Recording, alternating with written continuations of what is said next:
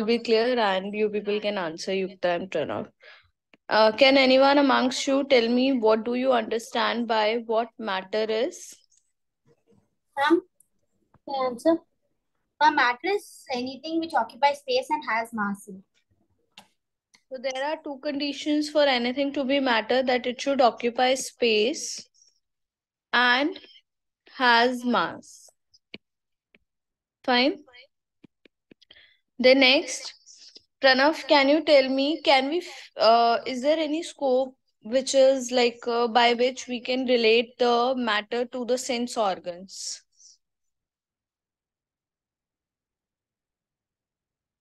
Is there any relationship between the sense organs and the state uh, and the matter?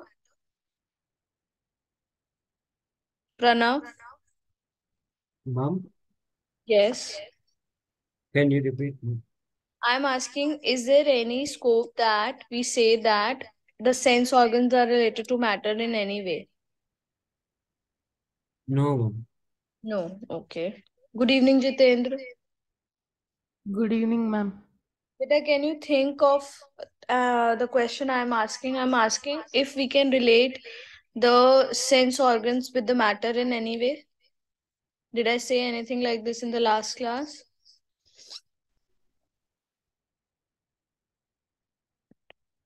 We can sense the matter with our sense organs.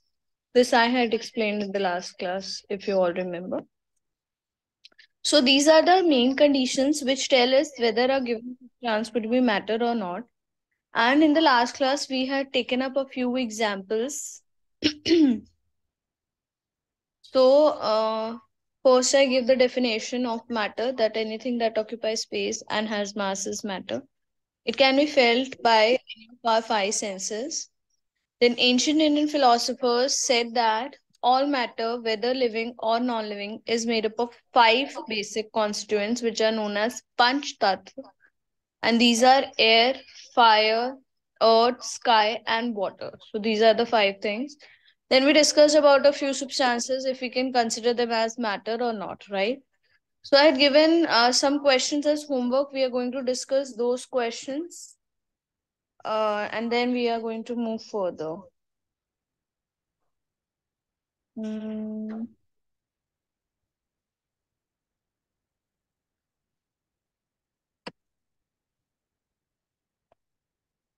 Just a second. So I'll open in the app only.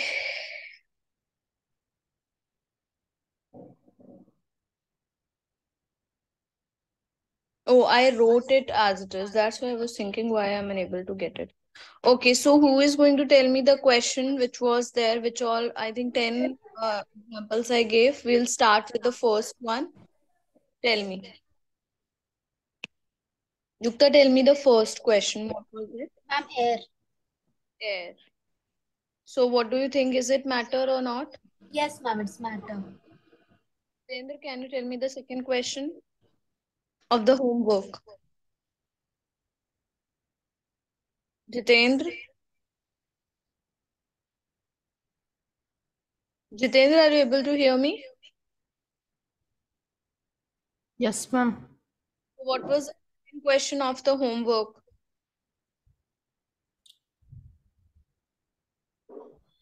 Heart, ma'am. H-E-A-R-T was the question. Yes, ma'am. So what do you think? Is it matter or not? Yes, ma'am. It is matter. Pranav, what about the third question? Book, mom. Book. So what do you think of the book? Is it matter or not? Yes, mom. I think. Can you tell me the next question also so that I can ask Sampath the question? Flower. Flower. Yes, mom. Okay. Sampath, do you think flower is a matter or not? Mom, it is matter. Yes, it is matter. Yukta, can you tell me the next question? Feelings. So what do you think, Yukta? Is it matter or not? Ma'am, it's not matter. Not matter. Jitendra, what about the next question? Water, ma'am. Water. So what do you think? Is it matter or not? Yes, ma'am. It does. It is matter because it occupies space and it has mass also. Okay. Next question, Pranav. Clothes, ma'am. Sorry? Clothes. Clothes, okay. So what do you think? Is it matter or not? Yes, ma'am. Matter. It is. Next question. Uh, can you tell me the next question also? Flying kites, ma'am. Flying kites. Flying kites. Yes, ma'am. Oh. Sampath, do you think the kites is matter or not? Ma'am, kites are matter, ma'am. Flying matter? No, ma'am. No. Flying is not matter. So we have to look if anything is matter or not. Uh, so if we talk about flying kites together, it is not matter because flying is not matter. But kites, if we consider, then it is matter. Okay? okay. Yukta, next. Yes, ma'am. Uh, ma'am, it's juice. What do you think of juice? Ma'am, it's matter. Yes. And uh, Jitendra, can you tell me the last question? I think that's the last which I gave as homework. Hair, ma'am. What is the question? Hair. Hair. Yes, ma'am. What do you think? Is it matter or not? It is matter, ma'am. I hope the term matter is clear to everyone. Yes, ma'am. Okay. So now let us come to the properties of matter. First and foremost thing, the basics which you should know that the, just a second, that the matter is mainly of three types. Solid, liquid, and gases about which we are going to study in this chapter later on in detail. Fine. So the first property or the first thing which we need to know is that matter is made up of particles. Is made up of particles. This I started in the last class, right? Now, what are particles? Particles are basically either atoms or molecules. And what are molecules actually? Molecules are the substances which are formed when atoms combine together. When different, uh, when same or different atoms come together, they form molecules. Clear, everyone? That when come together, come together, they form molecules. So particles are made up of matter. How are we going to prove this? So for this, we have an activity. I will first explain you this activity, then we will see this activity and then we will move further. Fine. So what happens is if we take a glass at the home and take 100 ml water in it. In this 100 ml of water, if I add 20 drops of blue ink, then what are we going to observe? That the entire 100 ml of water becomes blue? Yes? Now what happens is, if we have to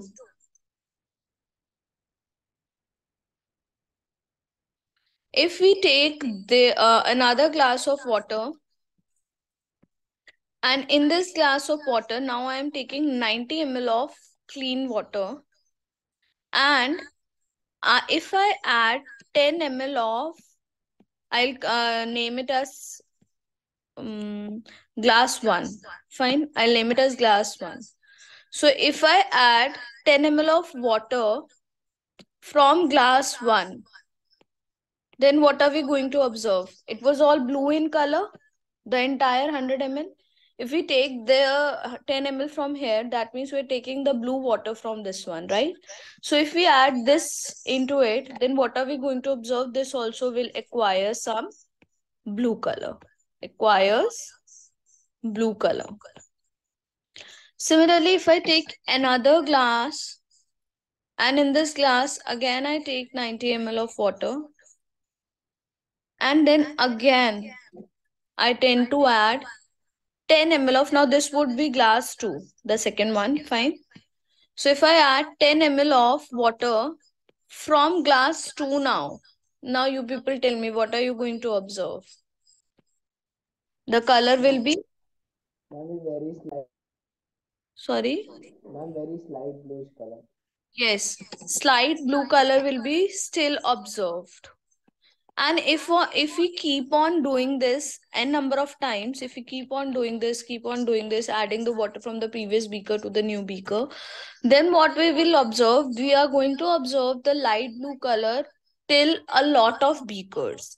Means taking just 10 ml of the water which we had taken initially then transferring that then transferring the water from the second beaker then to the third beaker then to the next beaker. This shows us that the blue ink particles they were so small and those got transferred again and again and again and again which showed us that the particles of the ink were very very very very small. Clear? All four of doubts children Okay, now we are going to see this activity. Okay, before I show you the activity, first I'll explain you what you're going to see in the activity. In the activity, instead of ink, in this we I told you about ink because you could easily it relate to the ink because you know how the ink looks, what happens when the ink mixes in water. Now the activity which we are going to see will involve potassium permanganate. Manganate. So the formula of potassium permanganate is KMNO4 and it is purple in color. So we are going to observe the activity and we are going to see in many beakers this purple color initially is very dark. Then later it becomes a little light, then a little more light and a little more light and it, it keeps on happening till a lot of beakers. Means you can imagine that maybe 10 grams of this uh, salt will color at least one liter of water even more than that. So you can imagine only one or 10 grams of uh, this salt colors around 1000 ml of the water. Oh sorry one uh, 1000 ml of the water. Clear everyone? Can i show you the activity now? Yes, ma'am. Let's go ahead and see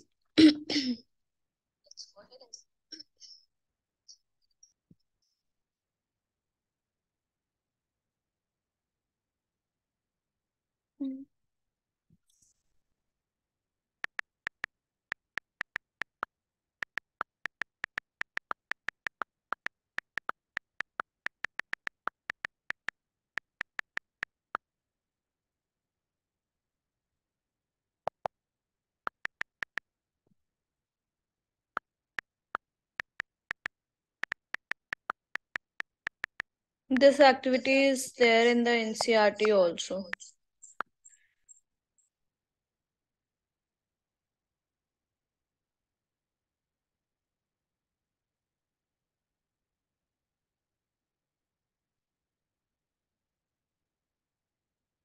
I'll have to see if it is Hindi or uh, English. If it is English, then we can go ahead. For class 8, 9. I'm going to take a very small quantity of potassium permanganate crystals and we are going to dissolve it in 100 ml of water here. See the color you can observe it is dark purple. right? Can you see that deep purple color? Now if we can show that a very small quantity of potassium permanganate can also color a large volume of water, then that means that these crystals must be containing millions and millions of particles that get spread on dissolving and color the water. So the particles of potassium permanganate must be very, very small. But the trick we are going to do is rather than dissolve a small quantity of potassium permanganate in a large volume of water, we are going to make use of the purple water here. So we are going to take a small quantity of this purple water and dilute it with more water. And then again take a small quantity of that and further dilute it with more water. It's the same effect as adding a small quantity of this in a large volume of water. Let me show you how. First I have taken one tenth of this purple potassium permanganate solution in the small beaker here. So one tenth of 100 ml is as you can see 10 ml. Now I am going to pour this solution into the empty glass here and then we are going to dilute it with 90 ml of water so that the total solution becomes 100 ml.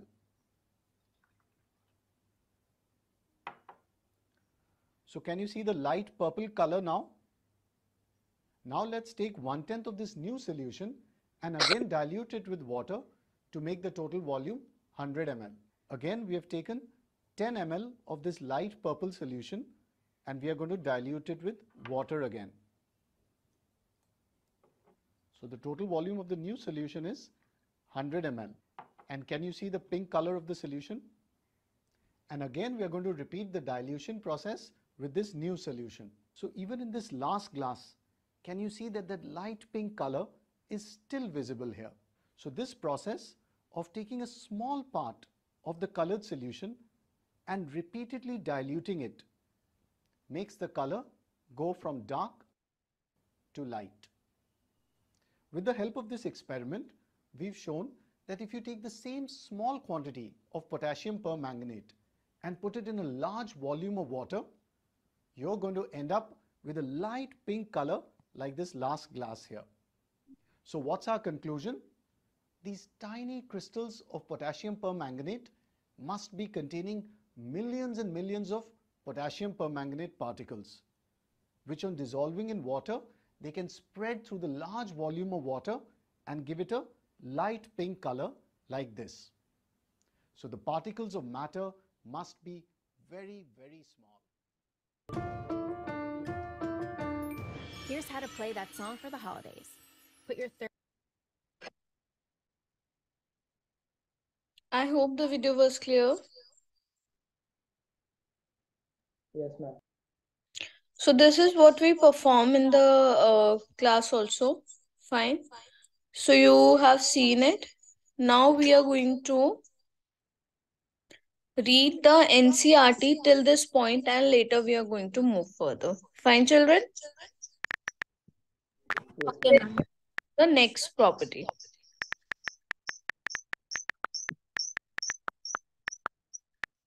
I hope in everyone's school the main book is NCRT only. yes, ma'am. Okay, good. So we are going to start and uh, we have, I have already explained you till this point only. So first we are going to read till this point and then later we, I will explain you and then we will do. Okay, so one child will read one paragraph. We can start from Yukta and then later I can tell where to stop.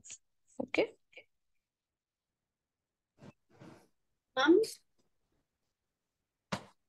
Yes. I'm sure you start reading. Yes, yes. Please start. As we look at our surroundings, we see a large variety of things with different shapes, sizes, and textures. Everything in this universe is made up of materials which scientists have named matter.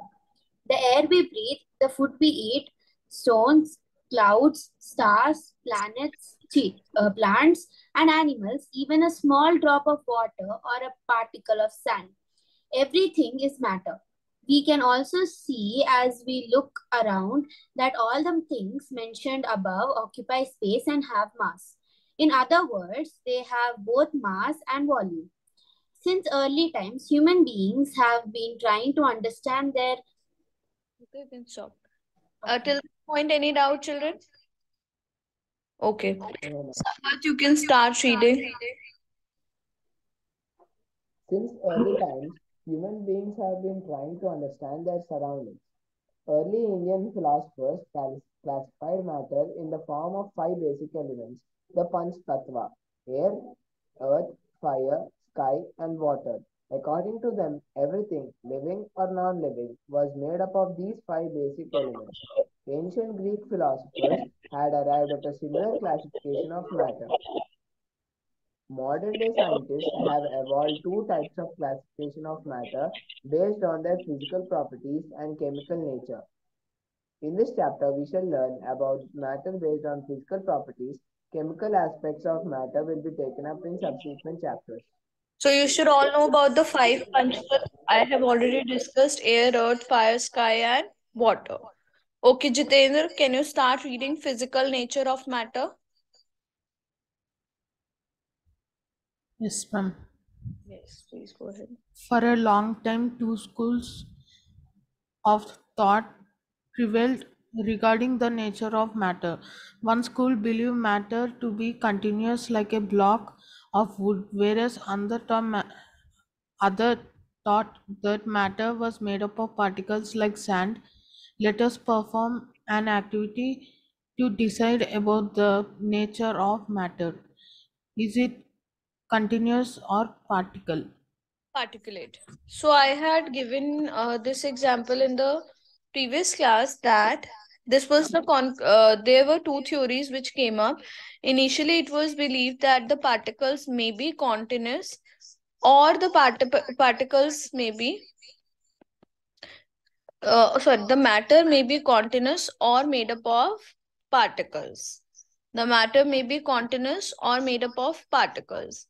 So, what example I took so as to make you understand about both the things was that what if you look at a glass here, the spectacle glass or a normal glass, think of any glass. So, what do you think by looking at it? You think that it is a continuous substance like a block of wood, also, or a glass. But if we drop that glass, then what happens? The glass breaks down, and the glass breaks down to give us very small small particles right? So it was considered that the particles are continuous but no they were not con uh, sorry the matter was continuous but no it was concluded that it is not continuous but the matter is made up of small particles. Clear? Now we are going to read the activity also which is present in the ncrt then we will move further so uh, who was reading jitendra pranav you can read the activity and you can read before this how small are these particles of matter before that you can read everything activity also Yes, ma'am. Activity 1.1. Take a 100 ml beaker, fill half of the beaker with water and mark the level of water. Dissolve some salt or sugar with the help of a glass rod. Observe any change in water level. What do you think has happened to the salt? Where does it disappear? Does the level of water change? In order to answer these questions, we need to use the idea that matter is made up of particles. What was there in the spoon, salt or sugar, has now spread throughout water. This is illustrated in figure 1.1. So what actually happens is that if at all we put some salt or sugar in the water, do we observe it after some time? No. No. What actually happens is either it is salt or sugar, doesn't matter. It goes into the space of the water. So it occupies the space of the water which is available. And this, if you look at this picture, this shows that the particles of water which are magnified millions time, that is why you are able to see them. Otherwise, they're so, so, so small that you cannot see them with your naked eyes. And when the salt was added, after some time, whatever space was available in water, you can look at the picture that in, within the water molecules, we are able to observe the small, small salt particles, right? So when we dissolve salt in water, the particles of salt get into the spaces between the particles of water. Clear? So basically the matter is made up of particles which have the tendency to go inside each other depending on how much space is available to what kind of matter. Okay, let us uh, read further. Yukta, are you there? Yes, ma'am. You can start reading the activity. How small are these particles of matter? Um, take two, three crystals of potassium permanganate and dissolve them in 100 ml of water. Take out approximately 10 ml of this solution and put it into 90 ml of clear water. Take out 10 ml of the solution and put it into another 90 ml of clear water. Keep diluting the solution like this 5 to 8 times. Is the water still colored? So what is the answer? First of all, tell me, is the water still colored or not colored? Yes, ma'am, it is. It is colored and you can see this in the picture also. Yes. Okay, let's read further. Now, Sampath, you can read further. This experiment shows. This exper experiment shows that just a few crystals of potassium permanganate can color a large volume of water, about 1000 liters. So we conclude that there must be millions of tiny particles in one in just one crystal of potassium permanganate, which keeps on dividing themselves into smaller and smaller particles. The same activity can be done using 2 ml of Dettol instead of potassium permanganate. The smell can be detected detected even on repeated dilution. Yes. So if you ever used it all, you must be aware that it has a characteristic smell. So if you keep on doing the same thing with Dettol, then the smell of the Dettol will keep on persisting even if we keep on diluting the solution as many times. Clear? So two main important things I have just told you. The first thing is that the matter is made up of particles. Fine. So we know the activity to solve this. And secondly, the particles of matter are very small in size. Are very small in size. Is it clear? Now we are going to study about the characteristics of matter.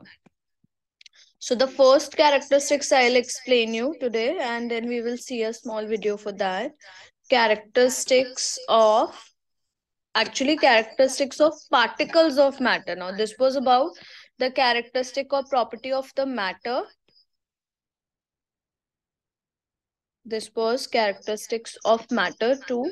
Now we are going to see the characteristics of particles of matter. it's very easy and very interesting. Everything you can relate with your everyday life. So, before I write anything, I would just like to ask or repeat the same example which we have just read in NCERT.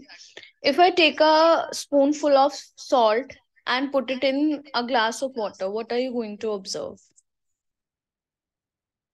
Ma'am, salt solution, it gets dissolved in the water. The salt gets dissolved, and if you try to sip that water, you will be able to feel the taste of the salt, right?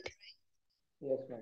So the first property is that the particles of matter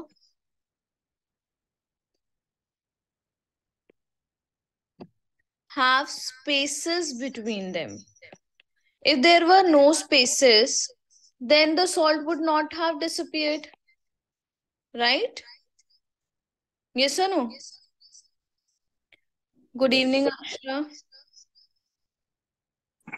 Good evening, ma'am. Actually, I did not join because I had some problem with my tab. It's in repair. So I had to join with my laptop. It took uh, a little while. No problem, dear. I have just explained them about the characteristics of matter and that the matter is made up of particles and the particles are very, very small in size. We have seen a video related to these two points. Right now, we are moving on to the new topic, which is the characteristics of particles of matter. The first only we have just discussed that the particles of matters have spaces between them. Again, here, can I take the example of the ink? Yeah? Yes, ma'am. a few drops of ink in the water, then what going to observe? It mixes. Why it mixes? Because there were spaces. If there were no spaces, they wouldn't have mixed. Another example I would like to give it to you. If I take some honey and put it in the water, or not in the water now, in the milk, then what are you going to observe? Ma'am, the honey settles down uh, in the milk, but if you keep it for a while, then it will like dissolve in the milk. ultimately what are we going to observe? That they get mixed with each other right? So this shows us that the particles of matters have spaces between them. Now we will just quickly see a short video uh, to see the first characteristic then we will move further fine particles of matter have spaces between them Okay, again, we will see this video only because the previous one was good. So we can go ahead and see this one. Aspirant से इनकी government exam preparation की गाड़ी जुगाड़ I'm going to immerse this spoon into this glass of water and you carefully observe what happens to the level of water. As you can see, the water level rises a bit. The rise in water level is going to be much more clear if you use a larger object. Now I'm going to put the sugar grains in water and you carefully observe what happens to the level of water. We are going to dissolve this sugar in water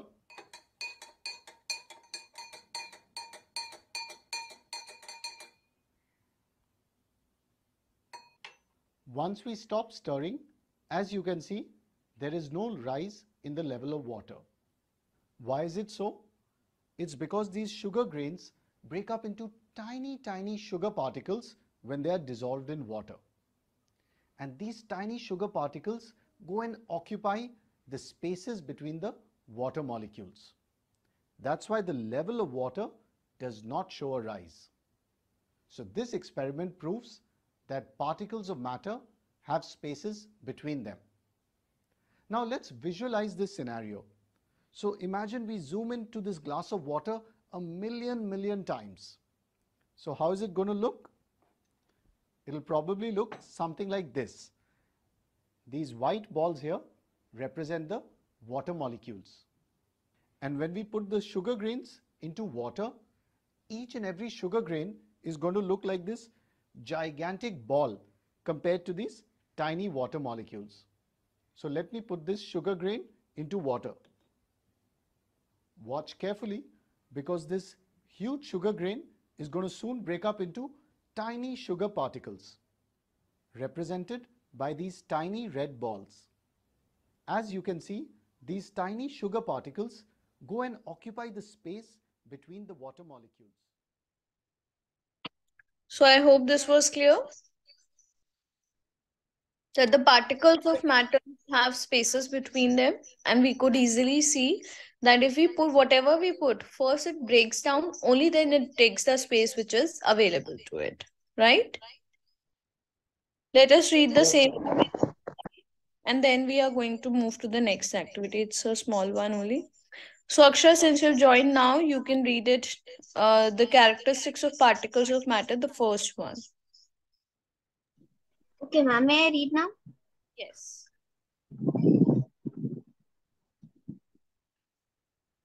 Ma'am, may I read now? Yes, yes, you can read now. Characteristics of particles of matter. Particles of matter have space between them. In activities 1.1 and 1.2, we saw that particles of sugar, salt, Dettol, or potassium permanganate got uh, evenly distributed in water.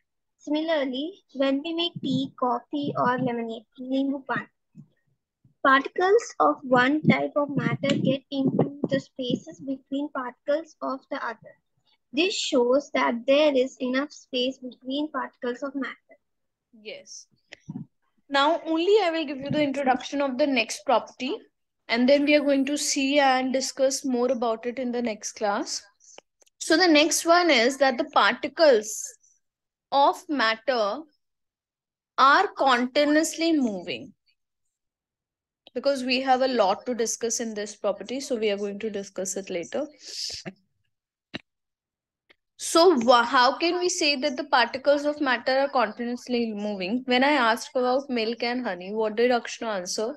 She told that, ma'am, initially um, honey is going to settle at the bottom. And if we leave it for some time, we are going to observe that it gets dissolved by itself. Right? That's what she answered. And that that's what happens also. If we do not even stir the sugar if we are putting in water, and we leave it for some time. The sugar particles will take some time to break down and once they break down, they will eventually dissolve by themselves. So, and after some time of keeping the sugar in water, if we try to taste it, we are able to observe the nature of the water in the uh, water. Why? Because we saw that the sugar particles broke down and they started to move and they occupied the spaces which were present in the water. Clear everyone? Another important example I'll give you to get it related to your everyday life. If you put some perfume, what are we going to observe? I mean, not us. If somebody is just sitting besides me and I put some perfume, will he or she be able to feel uh, or smell the perfume which I have applied? Yes, So, how come? I have applied and he or she can smell it. So that means the particles of the perfume, the smell of the perfume, they travel to the other person. The particles were moving, only then the other person was able to feel them. Right? Yes, ma'am. This, uh, this property characteristics will apply to solids also. Yes, this is applicable to solids also, but not to an extent like liquid and the gases. But how come in the solids the particles are seen to be moving? If we consider about the sugar particles, what are sugar particles in nature? They are solids only. They are breaking down and both water and sugar they that's the third property uh what i'm just saying they tend to attract each other so when they attract each other both the particles move a little and the movement basically happens from a region of higher concentration to a region of lower concentration fine we are going to discuss about it a little later because we i have to give you a few more terms related to uh, this fine so uh, I'll give you a small homework on the uh, WhatsApp group only.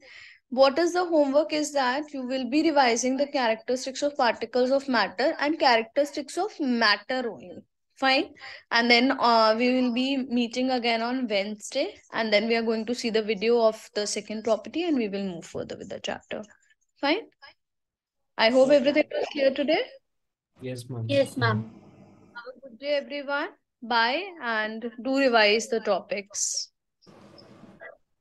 Bye. Thank you, everyone. Have a good Thank you, ma'am.